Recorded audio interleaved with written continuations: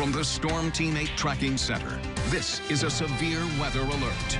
This line of showers and storms is moving so quickly through West Michigan that I think in another hour or so we're going to be in the clear. But we still have storms on the board that are impacting some of our viewers. If you live in Muskegon County, Denver, Kent County, Ottawa County, good news. You've officially been dropped from the severe thunderstorm watch. So even if you see a few more showers pop up, they are not expected to be severe by any means. We still do have some active severe thunderstorm warnings near Lansing, tracking off to the east. And we're also keeping our eye on this batch of showers and storms near Benton Harbor. Right now, these are not strong enough to trigger a severe thunderstorm warning, but you can see they do have some bright reflectivities, which means some heavy rain associated with them. And because they're already rolling over a spot that received rain literally less than an hour ago, we have a flood advisory that's in place through about 8.30. So we're not seeing huge impacts from this, but some localized flooding is definitely possible for Berrien County especially. We need the rain, just not all at once. So unfortunately, this is too much for Berrien County at one point in time. The rest of us at least have seen a little bit of a drink of water.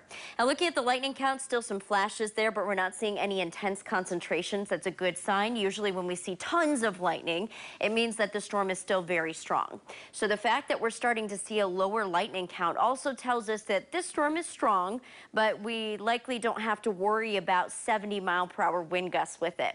Regardless, it's tracking off to the east at a very similar speed, close to 50 to 60 miles per hour. So with that current speed, here's some arrival times for you. Some spots like Mendon could see this fresh wave of showers and storms at about 620 here. Burr Oak 630, Athens closer to 635, and Bethel 645. By about 7 o'clock, a lot of this activity is going to be completely clear of our area. And speaking of clear of the area, after all that wind damage in Muskegon, we're now dealing with sunshine. And if you watched us this time yesterday, we talked about how fast this line of showers and storms would move through. We talked about the fact that we'd likely see some sunshine right after they do move through. So now's the time that I'm sure everybody's getting outside and checking out some of the storm damage if you received it.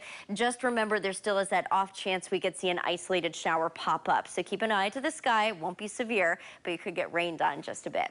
Temperatures, huge difference here. We're starting to see the drop in Sturgis and Coldwater, but we had mid 80s earlier today. Now we're going to start to see the temps get flooded with some cooler conditions. In between, as we see this system roll through, there's still the potential for fast wind gusts, but that's mainly off to our east now. So Lansing, some wind gusts in the 48 mile per hour range, not impossible. Here's your futurecast dragging the line out. By 1 a.m., most of us mostly clear. And through the day tomorrow, we're going to continue to see cooler air spill in. And in the afternoon, that could trigger an afternoon shower or downpour. But it looks like if it were to arrive, it would be very late. Low 70s for Thursday, back up closer to 80 for Friday, Saturday, Sunday. All in all, not a bad eight-day forecast. Storm chances are fairly low after tonight.